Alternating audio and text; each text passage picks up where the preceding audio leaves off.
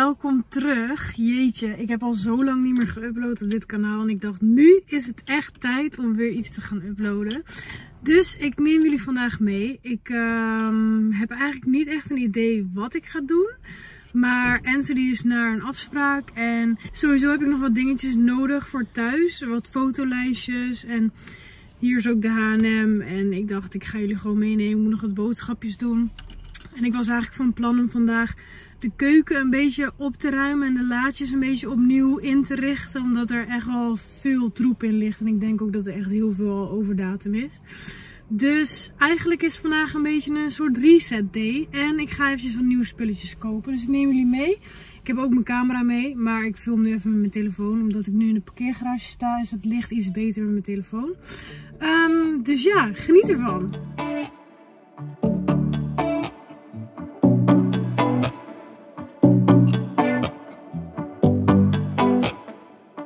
Ik heb even een lekker koffietje gehaald en de zon is aan het schijnen. Ik zie hier een bankje.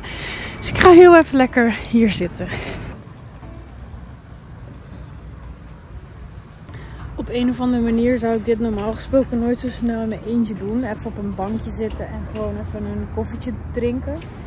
Maar ik merk, ik ben echt benieuwd hoe dit over negen weken gaat zijn. Maar ik merk dat wandelen en een beetje slenteren, zeg maar, dat dat best wel vermoeiend kan zijn.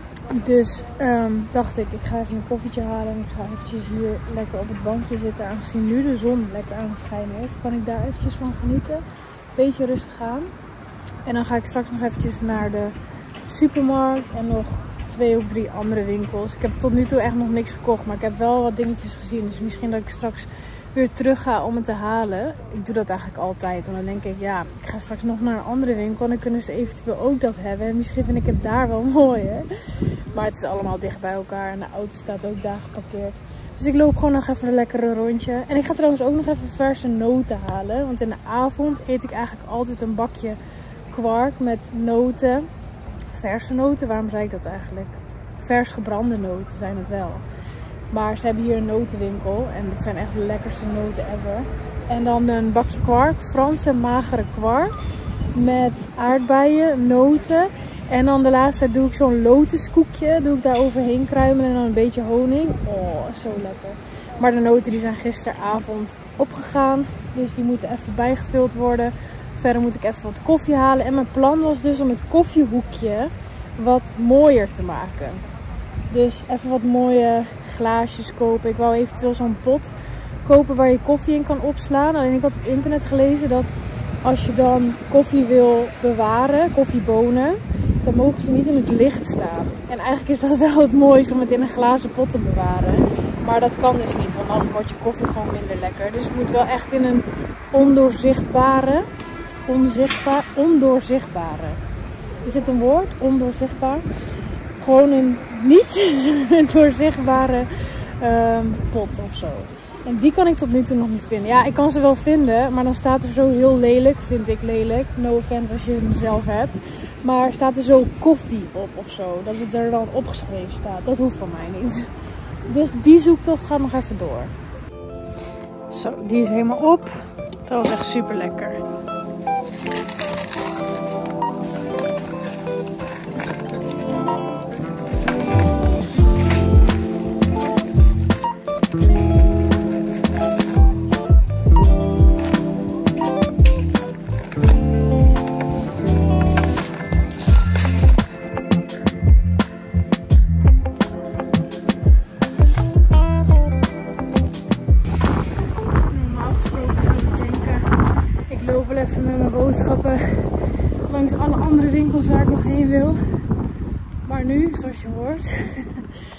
Ik bij het adem van wandelen. Laat staan zo'n boodschappentas. Dus die ga ik eerst even naar de auto brengen. Want anders wordt het niks.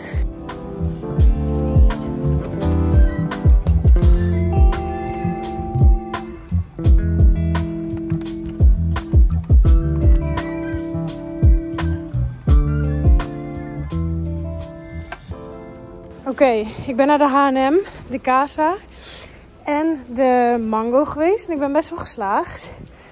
Maar ik wil dus nog, naar een andere winkel. Dus ik zet dit even weer in de auto en dan loop ik weer even een stukje.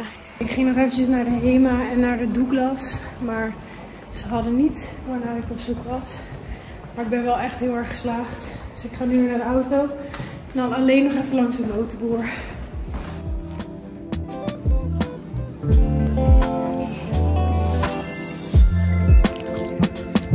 Zo, we zijn weer thuis. Ik heb hier de boodschappen. Nou, hier allemaal kleding. Dat ga ik straks even uitpakken en aan jullie laten zien. Maar ik heb ook even lekkere lunch gehaald. Dit zijn natuurlijk de noten. Die ga ik straks in die bak gooien. En lekkere broodjes geitenkaas. En zoals het goed is ook zo thuis. Dan gaan we even lekker samen eten. En ik twijfel dus een beetje om misschien buiten te gaan zitten. Maar misschien is het ook wel een beetje te koud. Maar het is wel echt lekker weer. De zon is echt lekker warm vandaag. Oké, de lunch is inmiddels op. En nu is het tijd om de kasten te gaan organiseren. Ik heb besloten dat ik twee kasten wil doen. En dat zijn deze twee lades eigenlijk. Ik ga jullie zo laten zien hoe die eruit zien. Eerst even de noten in deze bak. Dat past altijd nog maar net. Zo. En dan denk je nu echt, wat moet je met zoveel noten? Maar ik vind gewoon dit echt een lekker snackje. Gewoon zo even een paar nootjes pakken. En dus door de kwark. Maar alsnog kan ik hier echt, uh, nou, drie, vier weken mee vooruit. En ik vind het gewoon fijn om het in huis te hebben. Dus daarom zo'n grote bak met noten. De eerste la die we gaan opruimen is deze.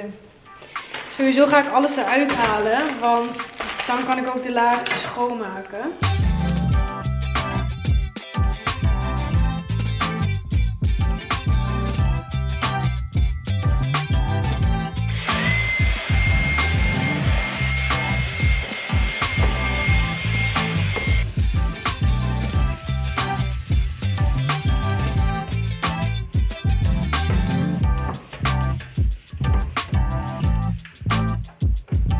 Helemaal leeg. En dan nu gaan we kijken wat we er weer in terug gaan doen.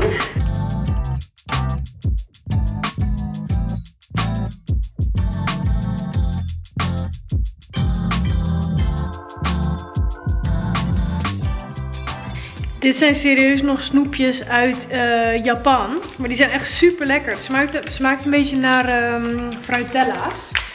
Die maak ik gewoon open en ik gooi het hier dan gewoon zo. Hier serieus nog zo'n Jellybean game. Die heeft Enzo denk ik ooit gekocht. Even kijken of die nog goed is. Ja, tot 2025 is dit nog goed. Dus die uh, laat ik gewoon hierin liggen. Misschien gaat hij dat ooit nog een keertje doen. Nou, dan is dat eigenlijk alles wat er nog over is. Super snel gedaan eigenlijk. Ik heb nu hier gewoon alle snoepjes in gedaan. Hier eigenlijk chocola en hier de reepjes. Maar goed, dit uh, blijft een paar weken zo en dan is het weer helemaal chaos. Maar in ieder geval fijn dat deze la nu opgeruimd is. Oké, en dan hebben we deze la. Die is nog een grotere chaos. ik weet ook eigenlijk niet wat ik in deze la allemaal stop. Sowieso zoet broodbeleg. En een beetje crackers en dingetjes. Maar ook poedersuiker. En ja, ik weet het niet. Deze la is wel echt een, uh, een zootje. En ik denk ook dat hier best wel wat dingetjes tussen zitten die over datum zijn. Zoals dit. Oh nee, wow, tot 2025. Oh, dat is echt top. Dit is pasta. Oké, okay, nou die kunnen we bewaren. Ideaal.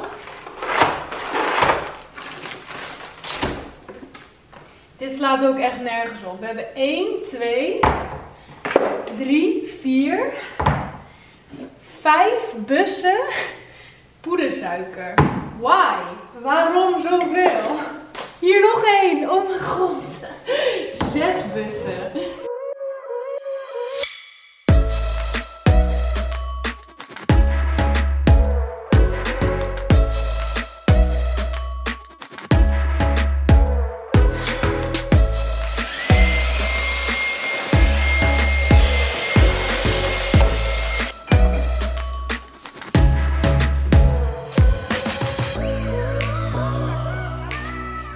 Oké, dan ga ik hier eerst in doen wat ik er het vaakste uithaal. En dat is dus broodbeleg.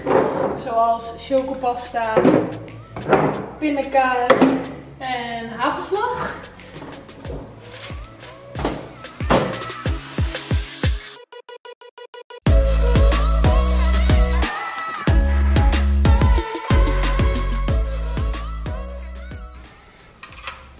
Een trommeltje. Dit is dus eigenlijk wat ik vanmiddag bedoelde. Dat ik dit niet zo mooi vind dat dit erop staat. Maar goed, dit trommeltje hebben we nou eenmaal. Even kijken, die past niet hier. Nee. Hij is leeg, maar ik zet hem gewoon in dit laadje. Misschien dat ik daar nog ooit iets in doe. Goed, deze la is ook klaar. En nu twijfel ik dus een beetje, omdat dit eigenlijk zo snel ging om die la ook nog eventjes te doen. Maar dit is dus wel precies waar ik last van krijg, van mijn onderrug. Omdat ik heel veel toch dingetjes zo doe of stofzuigen of zo. En dan, oh, dan mijn onderrug gaat dan zoveel pijn doen. Maar goed, ik zit er nu wel echt lekker in. Dus ik denk dat ik die la ook nog eventjes doe. Want dan, dat geeft wel echt een lekker gevoel. En daarna gaan we de kleding eventjes uh, doornemen van wat ik gekocht heb. Oké, waar gaan we? Deze la zit ook echt helemaal vol. Holy shit.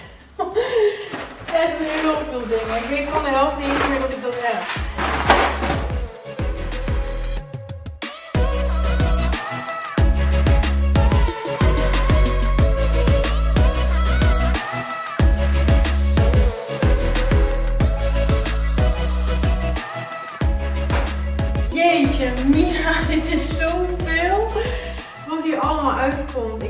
Nog niet eens gecheckt. Maar heel veel dingen zijn wel open. Dus dan denk ik al van ja, deze risotto rijst bijvoorbeeld. Je kan het heel lang bewaren. Maar als het al open is en het staat al anderhalf jaar open. Ja, ik weet niet of het dan heel goed is om het nog weer te gebruiken. Dus dan gooi ik het wel gewoon weg nu.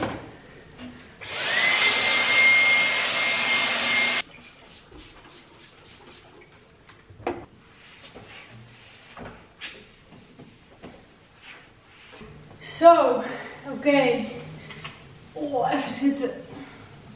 Dan is het nu tijd om alles opnieuw in te richten. Oké, waar ga ik beginnen? Ik heb hier heel veel pasta. Dus elke pasta die, nog dicht is, die ga ik sowieso bewaren. Deze is over datum, dus die ga ik weggooien. Even kijken, waar ga ik alles neerleggen wat ik weggooi? Daar. Hier heb ik linten. Die zijn sowieso nog goed. Besef even hoeveel spaghetti ik heb. Ik snap hier niks van. Dit is 1, 2, 3, 4, 5. En deze is zo'n soort zwarte spaghetti. Die is ook nog goed. 6. Was het 6? Ik weet niet meer bij het tel Ja, 6. Ja, daar was het. En hier nog groente spaghetti. Die zal nog wel goed zijn, ja. Echt bizar. Hier lasagne. Deze dingen zijn allemaal nog dicht, dus dat geloof ik allemaal wel. Ook al moet ik zeggen, hier heb ik zilvervliesrijst. Dat is tot juni. Oh, deze gewoon over datum. Juni 2023. Weg ermee.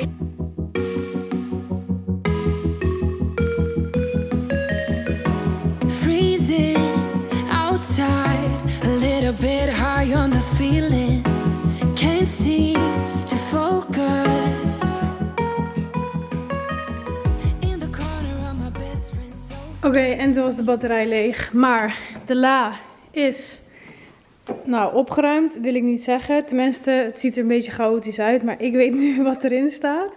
Dus dat is fijn. En in de tussentijd heb ik deze ook nog even gedaan. Hier lag ook allemaal troep in. Nu alleen nog maar vuilniszakken. En hier wat vershoutfolie, bakpapier. En wat zakjes, plakband. Nou, jeetje, ik heb gewoon vier lades gedaan. Terwijl ik er eigenlijk maar twee wou doen. Dus dat is wel echt heel fijn. Oké, dan is het nu tijd om te laten zien wat ik allemaal gekocht heb. Ik heb eerlijk gezegd echt geen zin om dit allemaal aan te gaan doen. Dus wil je nou heel graag dat ik dit allemaal ga passen, laat het even weten in de reacties. Misschien doe ik dan de volgende keer wel een soort van try-on uh, video. Maar dit is een lange zwarte jurk. Met lange mouw en een kolletje. Die vond ik wel echt super mooi. Die is dus van de Mango. Niet van de zwangere afdeling of zo, maar meestal past de buik er wel in. Dus dat is één. Dan heb ik hier ook van de Mango een super cute truitje. En ja, mijn buik gaat hier onderuit komen. Maar ik denk niet eens dat ik dat heel erg vind. Maar misschien als ik er een hoge legging bij aan doe, dat het dan wel meevalt. Maar ik vond deze wel echt super mooi. Dan heb ik een lekkere pyjama. Hier ben ik echt hyped voor. Kijk dan, zo'n uh, korte mouwenblouseje. Met een uh, lekker kort broekje erbij. Super chill. Dan heb ik hier een mooi blauw lingerie setje. Ook een zwart basic topje. Vind ik gewoon fijn om over mijn BH te dragen. En dan daar misschien weer een trui of zo overheen. Dan hier ook nog een bralette. De laatste tijd draag ik eigenlijk alleen maar bralettes. Puur omdat ik beugel BH's gewoon echt niet lekker vind zitten.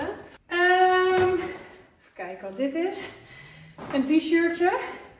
Van zo'n ribbelstofje. Dat vind ik altijd echt super fijn.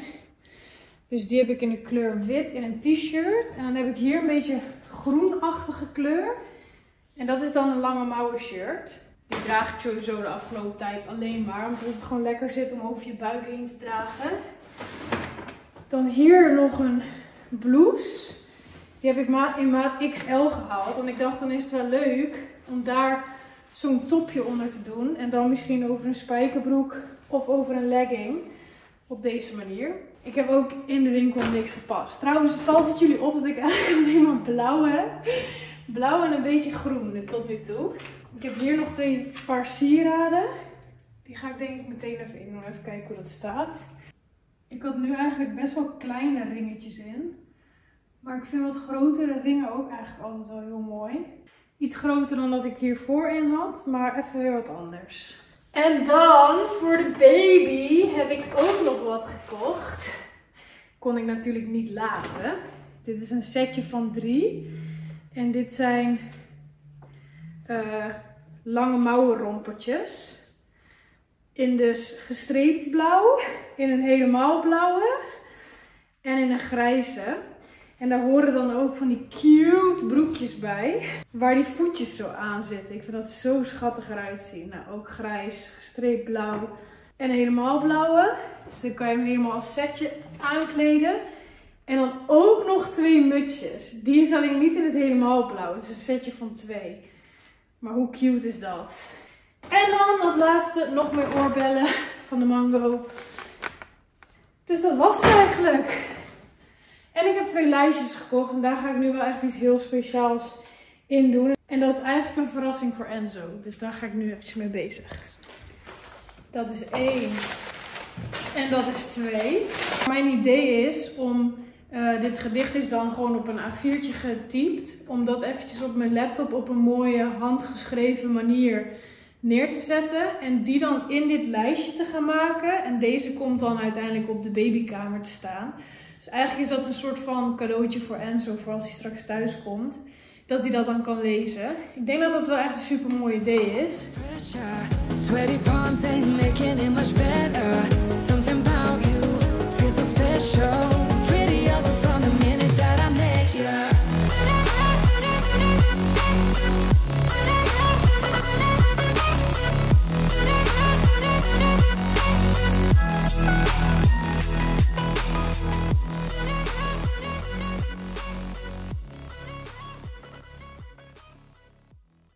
Oké jongens, hier een kleine bump update.